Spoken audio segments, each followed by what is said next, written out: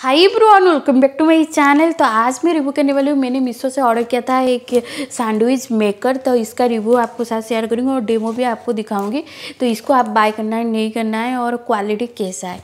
तो review start करने से पहले अगर मेरे चैनल को अब तक सब्सक्राइब नहीं किया तो प्लीज़ सब्सक्राइब कीजिए और नीचे वाला बेल आइकन को क्लिक करके ऑन नोटिफिकेशन ऑन कीजिए। जब भी वीडियो अपलोड करेंगे, आपको जल्दी से नोटिफाई अगर पसंद आए।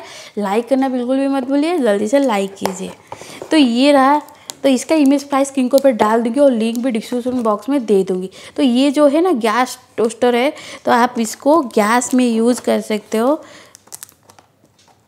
तो पैकेजिंग कुछ इस तरह से मुझे रिसीव हुआ है, इस तरह से और एक्स्ट्रा पैकेजिंग कुछ नहीं है।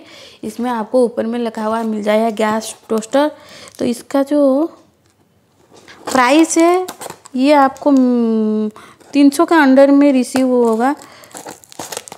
तो देखते हैं सही में ये कैसा बनाता है सैंडविच ये एक क्वालिटी कैसा है तो ये रहा एक्स्ट्रा पैकेजिंग कुछ नहीं है, सिर्फ़ इस तरह से पैकेजिंग मुझे रिसीव हुआ है और ये कुछ इस तरह से आपको मिलेगा और इतना बड़ा साइज़ में आपको मिल जाएगा।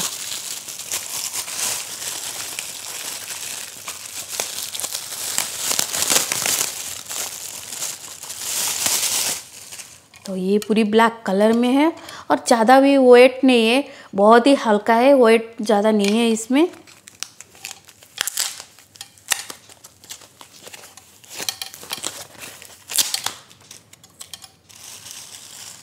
और ये आपको कुछ इस तरह से,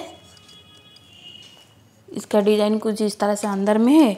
और ज़्यादा ला, बहुत ही लाइट वेट है, ज़्यादा हेवी नहीं है। और ब्लैक कलर में आपको मिलेगा और ये जो है आपको कुछ इस तरह से हैंडल दिया गया है पकड़ने के लिए, ये प्लास्टिक लगा हुआ है, आपको मिलेगा। और ये आपको लॉक करने के लिए आपको इस तरह से प्रेस करना है और इसको इस तरह से लॉक करना है। ये लॉक हो जाएगा और आराम से आप दोनों साइड इस तरह से गैस के ऊपर ऊपर नीचे करके आप रख सकते हो। ये जो है ना, सूर्या किंग, इसका जो ब्रांड है, सूर्या किंग का है। और आपको ये इस तरह से मिलेगा। आपको दिखाते कुछ इस तरह से आपको मिलेगा। आराम से इसमें सैंडविच बना सकते हो। सही में ये कितना देर तक बनाता है और इसमें सैंडविच अच्छे से बनता है, नहीं बनता है, मैं आपको बना के दिखाऊँगी। और क्वालिटी अच्छा है, ज़्यादा ख़राब नहीं है, लेकिन ज़्यादा भी हेवी नहीं है लाइट वेट है। और इस तरह से हैंडल दिया गया है, हाथ गर्म ना हो प्लास्टिक का दिया गया है, और ये लॉक करने के लिए आपको दिया गया है। इलेक्ट्रिक वाला नहीं है, इसमें आप आराम से गैस पे, चूल्हा पे आप इसमें बना सकते हो। क्वालिटी तो अच्छा है, ज़्यादा ख़राब नहीं है। चलो बना के देखते हैं सही में इसमें सैंडविच बनता है, कितने डेर लग टाइम लगाता है तो देखते हैं बना